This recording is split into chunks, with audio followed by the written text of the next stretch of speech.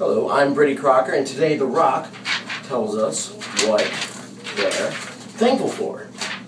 Hey, it's Matt Lee Crew from Raven in the Morning. This Thanksgiving, I am thankful for my family, all my friends, my beautiful job here at WCCC, and of course, Mike Karolyi. Yeah.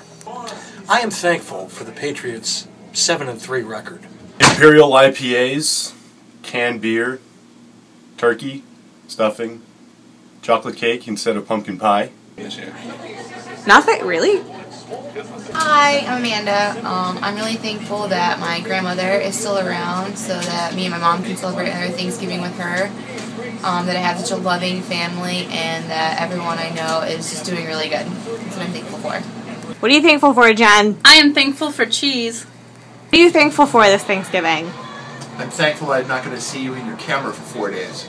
I am Digital Chick, and I am thankful that I am not on air talent and I do not need to be on camera. What are you thankful for, Clonky? I am thankful that Soundgarden finally came out with an album after Soundgarden! 16 years. Soundgarden! What are you thankful for? Um, pizza.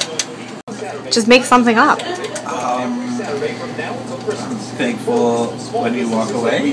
Yeah, I'm thankful for your blinding green sweater. What else? Don't put me on there. What else do you want? What are what are you thankful for?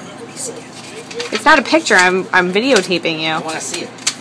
I am thankful for so many things. I'm thankful for one that uh, Lucky Matt, one of our listeners, brought this by for me, a case of Mountain Dew, just because I broke my hand. Isn't that nice?